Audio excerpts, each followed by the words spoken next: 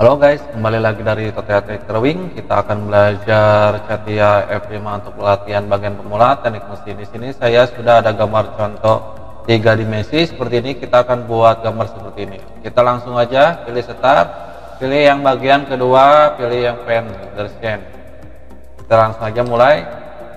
Kita di sini kita akan pilih dulu yang bagian tampak dulu, tapi di sini lihat dulu gambarnya kita akan bagian mana dulu? Kita buatnya. Kita bagian yang bawah dulu. Jadi kita akan buat dulu yang ini tampilannya. Oke langsung kita mulai gunakan namanya di sini start nah langsung seperti ini.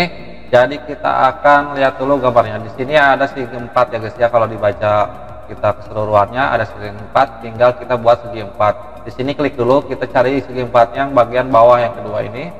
Ctrl Shift P kita langsung mulai pas tengah-tengah aja seperti ini. Baru tinggal kita kasih ukurannya. Ukurannya di sini ada le, e, lebarnya 60 panjangnya kita akan perhitungkan di sini. Kita gunakan kolektor sebagai contoh kita hitungannya. Ya kalian biar memahami. Eh sorry kontrol. Oke. Di sini ada 10 nah di sini aja gini 35 tambah 45 sama dengan 80 80 sama 10 ya guys ya. Jadikan 80 kita coba aja 80 ya seperti ini. Jadi lep panjangnya itu ke sininya itu 10 nah seperti itu ya guys ya. Guys 80 sorry. Nah kita langsung aja. Di sini 80 oke. Terus di sininya itu berapa? Lupa ya 60 Sini udah 60 ya guys ya, baru tinggal kita besarin biar enak tampilannya. Kita apalagi seperti ini, tinggal kita langsung aja buat gambar yang ini yang kecil. Baru tinggal kita kotak aja, seperti ini.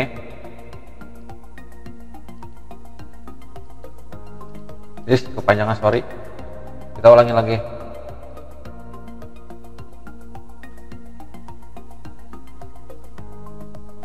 Nggak bisa nggak bisa tadi jaraknya tinggal kita akan kasih ukur aja. Di sini kita kasih 15 ukurannya 15 semua.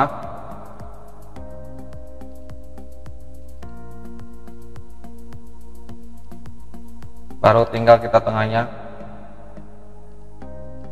Tengahnya berapa di sini? Tengahnya 25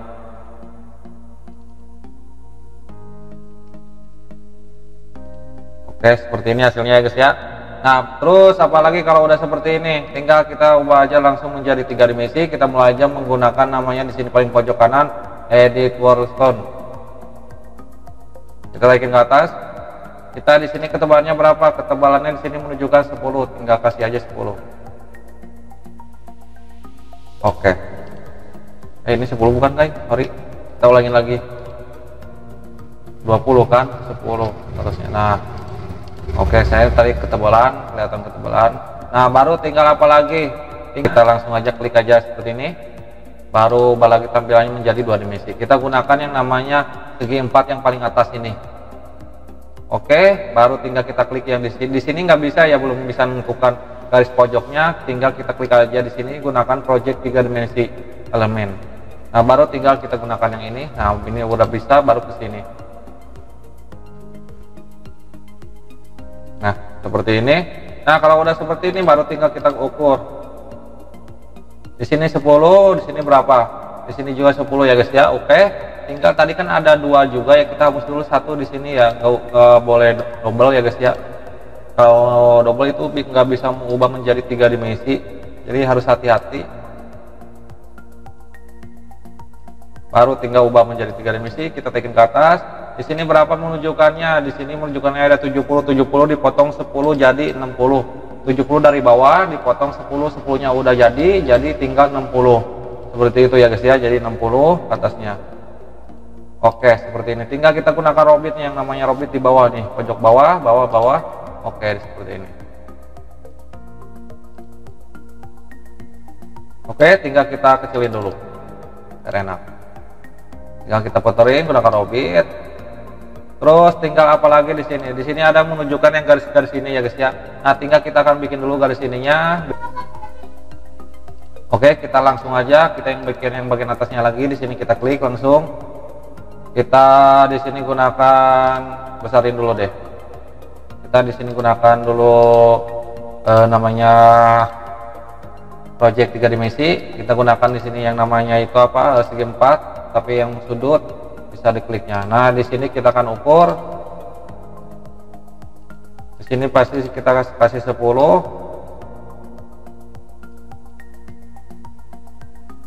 Oke, kalau udah 10 seperti ini tinggal kita blok coba bisa nggak di blok. Kalau nggak bisa di blok kita tekan CTR-nya. Oh, yang bawah nggak nggak usah di itu aja, soalnya udah yang clean, jadi kita trim aja. Nah, udah pindah. Kalau udah pindah seperti ini, tinggal kita hapus aja yang bagian ininya. Terus di sini ada juga kita kasih lens di sini. Kasih lens dulu. Jaraknya di sini itu 10. Nih yang bagian ini yang maksud saya nih yang ini ini kasihnya 10 ya guys ya jadi kita akan ukur dari jarak ke sininya udah 10 baru tinggal kita potong yang bagian tidak diperlukan seperti ini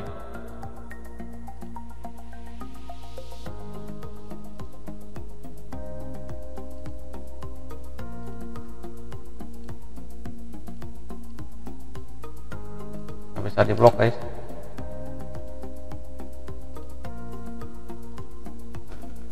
Oke, kalau udah selesai seperti ini baru tinggal ubah menjadi tiga dimensi. Kita taikin ke atas lagi. Oke, di sini kita akan perhitungan lagi. Dari sini itu 70 70 itu dari bawah dipotong 10 jadi 60. 60 jadi ke atas itu dipotong 10 jadi naik ke sininya itu sekitar 50. Seperti itu ya. Di sini kita tulis 50. Oke, kalau udah oke seperti ini baru tinggal kita akan namanya kita potong seperti ini. Caranya gimana? Tinggal kita klik dulu objeknya ubah lagi menjadi tiga dimensi seperti ini. Nah kita gunakan dulu nih yang namanya di sini project tiga dimensi biar tidak gunakan lens lagi. Biar nggak lama. Baru tinggal kita gunakan yang namanya lens di sini lens taruh ke sini tarik tarik ke sini. Nah kalau udah seperti ini baru ubah lagi menjadi tiga dimensi baru kita potong yang menggunakan yang paling bawahnya projectnya ini kita gunakan harus full ya biar dua-duanya ngikut ke satunya lagi tinggal kita geser aja ini. Oke bukan ini sorry. Yang ini. Gimana sih? Lupa. Oh sorry. Kita kasih aja di sini 100 saja ya sama bisa ditarik ya. Kalau ditarik itu di solid code sorry. Lebih enggak udah? Kalau udah lebih tinggal kita oke. Nah jadi ngikut sebelahnya seperti itu Nah, terus apalagi kalau udah seperti ini, tinggal lihat lagi gambarnya apa yang yang belum, apa yang sudah. Yang belum yang bagian ininya kita oke, okay, kita gunakan caranya gimana? Kita klik lagi menjadi tiga dimensi, dua dimensi lagi seperti ini. Kita gunakan di sini yang namanya segi empat yang pas tengah-tengah. Seperti ini. Baru tinggal kita ukur. Di sini ukurannya berapa? Di sini ada 35 terus 15. Oke, tinggal diklik dulu dari sininya di sini kita kasih 15 15 baru ke sebelahnya kita kasih di sini 35 Oke seperti ini. Di sini ada 35 terus jarak ke bawahnya berapa? Dari sini itu eh, ngitungin jaraknya 20 TK tinggal kita klik aja pas tengah-tengah ini. Baru ke sini. Di sini kita kasih 20 oke Nah kalau oke seperti ini baru kita ubah lagi menjadi tiga dimensi, baru kita yang bagian bawahnya proketnya, nah seperti ini kita klik aja, selesai guys, seperti ini hasilnya. Nah seperti itu aja ya guys ya cara latihan buat tiga dimensi untuk bagian pemula. Mohon maaf kalau ada kesalahan dari video ini. Semoga manfaat video tutorialnya. Kalau ada kesulitan silahkan komentar. Jangan lupa subscribe dan like. Sampai jumpa kembali guys.